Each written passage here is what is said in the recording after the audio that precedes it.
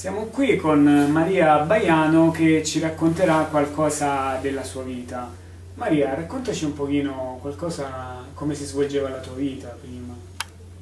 Uh, fin da bambina uh, avevo una grande tristezza nel mio cuore perché a casa mia non regnava la serenità. I miei genitori avevano problemi e questo si riversava su tutta la famiglia. Uh, la mia tristezza ha portato poi a, a, chiudermi e quindi avevo anche un grande senso di solitudine. Non mi sentivo capita, non mi sentivo amata e questo fatto di non sentirmi amata eh, col tempo poi io mi, mi, sentivo colpevole, come se mh, mm, non mi amassero per colpa mia perché ho iniziato ad avere anche tanti complessi di inferiorità e questo ha portato un grande dolore eh, nella mia adolescenza. Poi pian piano che sono cresciuto ho avuto un cambiamento e mh, mm, ho iniziato a dare tanta importanza all'apparire, ho, ho iniziato mh, mm, ad amare tutto ciò che è appariscente e, ho trasformato proprio il mio modo di essere da ragazza semplice a una donna piuttosto appariscente. E questo purtroppo è stato un inganno perché mi ha portato in anoressia. E ho attraversato un paio d'anni che non toccavo più cibo. Tutta la famiglia, in modo particolare mia madre, erano preoccupati e a me questo piaceva perché comunque avevo attirato l'attenzione su di me. Poi sono uscita da questa fase, eh, mi, ho conosciuto mio marito, eh, mi sono sposata, ho avuto due bambini meravigliosi e, e ho avuto degli anni tranquilli. Poi purtroppo eh, c'è stata la morte di mio padre e, e di nuovo il dolore ha invaso il mio essere. E, ehm, Beh, diciamo dopo... comunque è stato un avvenimento importante questo perché so che tu eri molto legato a tuo padre. Sì, amavo profondamente mio padre. Sì. E, e quindi poi dopo ho affrontato altre difficoltà e ho avuto un grandissimo dolore e, e tutto questo ha portato anche una crisi matrimoniale e, e quindi da, ormai in me regnava solo dolore e tristezza e sono andata in depressione e nella fase di depressione purtroppo ho tentato anche il suicidio. Quindi comunque si è trattato di un'adolescenza eh, tragica, possiamo così dire. E che cosa è successo poi dopo, una volta che hai superato questa fase della tua vita, comunque crescendo, che comunque ha portato male su male? Raccontaci un po'. In questo periodo di sofferenza mia cognata mi regalò la Bibbia e da che mi regalò la Bibbia tutte le mattine iniziai a leggere la parola di Dio e solo eh, la mattina quando pregavo il Signore e leggevo la parola trovavo sollievo nell'anima mia senza rendermi conto perché io non conoscevo il Signore. Certo eh, avevo sentito parlare di Dio un Dio lontano un, andavo in chiesa eh, ascoltavo eh, la parola però non, non riuscivo a, a vedere Dio come un Dio d'amore.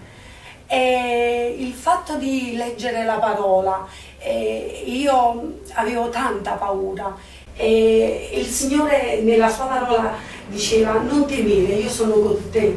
E io credevo eh, che il Signore era con me, iniziai a credere e quella parola diventò una forza nel mio cuore e più la leggevo, eh, più desideravo leggerla.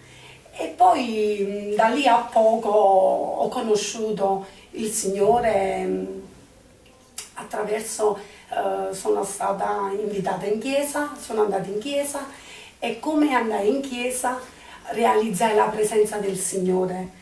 Realizzare la presenza del Signore e fu qualcosa di meraviglioso perché io pregavo il Signore um, e volevo capire se realmente esisteva oppure no, perché io ero incredula, dato che non sentivo la sua presenza io iniziai a leggere la sua parola e iniziai a comprendere tante cose, iniziai a vedere la differenza tra il bene e il male, eh, perché io mi sentivo buona, giusta, vittima eh, della vita per tutte le cose che avevo subito. E invece no, non è così, perché davanti al Signore, davanti alla santità di Dio, eh, davanti alla perfezione eh, di Cristo Gesù, ho realizzato eh, che tutti siamo peccatori e, e veramente ho iniziato a, il Signore pian piano ha iniziato a farmi comprendere tutti i sentimenti negativi eh, che gli esseri umani eh, hanno, e mentre invece mm, eh, diciamo che Dio amore, mm, Dio... Certo, comunque hai visto questo grande cambiamento rispetto alla tua vita passata. E quindi comunque poi che cosa è stata una cosa di un attimo oppure poi è proseguito nella tua vita tutte queste cose belle, questo, questo Gesù che ti ha sconvolto tutta la vita? No, ringraziando il Signore non è stata un'esperienza di qualche giorno. Uh, oggi sono cinque anni che conosco il Signore, il uh, Signore lo amo veramente con tutto il cuore perché è un Dio d'amore, è un Signore che è pronto a prendersi cura di te, è un Signore che è vicino a te, il Signore ha riempito eh, proprio, eh, proprio, tutto il vuoto eh, e tutta la mancanza che io avevo. il Signore veramente eh, nella mia vita è al primo posto perché il Signore è degno di stare al primo posto. Eh, non c'è proprio paragone con la tua vita passata? No, no, no, no. Oggi sono sempre gioiosa perché ho una grande riconoscenza eh, nel Signore, perché il Signore mi ha scelto, il Signore mi ha perdonato, il Signore ha perdonato tutti i miei peccati, ah, mi ha lavato col sangue prezioso di Gesù, perché Gesù è morto sulla croce per noi peccatori, lui giusto, puro, innocente, lui non ha fatto niente. Lui è morto per me e per ognuno di noi e realizzare questo, ma veramente eh, con grande umiltà e con un grande desiderio nel cuore quello di ubbidire alla sua parola, perché eh, conoscendola la parola di Dio, eh, fai tante esperienze, perché non è che eh, quello che tu realizzi mentalmente, è che tu lo vivi. Sì. Eh, io ho vissuto il perdono, quando Dio dice uh, perdona, no? uh, uno dice il perdono può sembrare una cosa semplice, non è semplice, però quando è un perdono uh, che te lo mette Dio nel cuore, è un qualcosa di meraviglioso, allora è vivere quello che Dio ti dice, non è leggerlo e comprenderlo solo a livello di intelligenza. E ti senti di dare un consiglio ai nostri amici che sono in ascolto? Il consiglio è, io sono rinata, io ero veramente uh, morta. Nei falli e nei peccati come dice la parola di Dio e quella, quella grande sofferenza che mi ha portato come in un burrone buio, eh, ho visto la luce, solo Gesù ha potuto aiutarmi e trarmi fuori da tutta quella situazione, solo il Signore ha potuto illuminare eh, la mia vita. E io a ogni persona ehm, eh, a ogni persona consiglio realmente di leggere la parola di Dio, perché attraverso la parola puoi comprendere ogni cosa.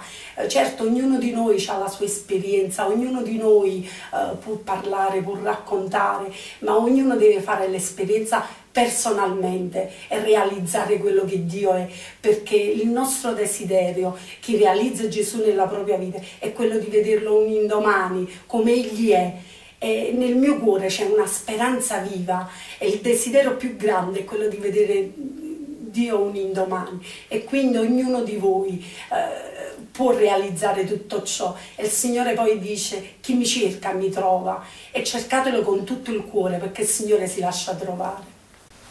Ringraziamo Maria per la sua testimonianza tanto toccante e diamo appuntamento a tutti voi alla prossima volta.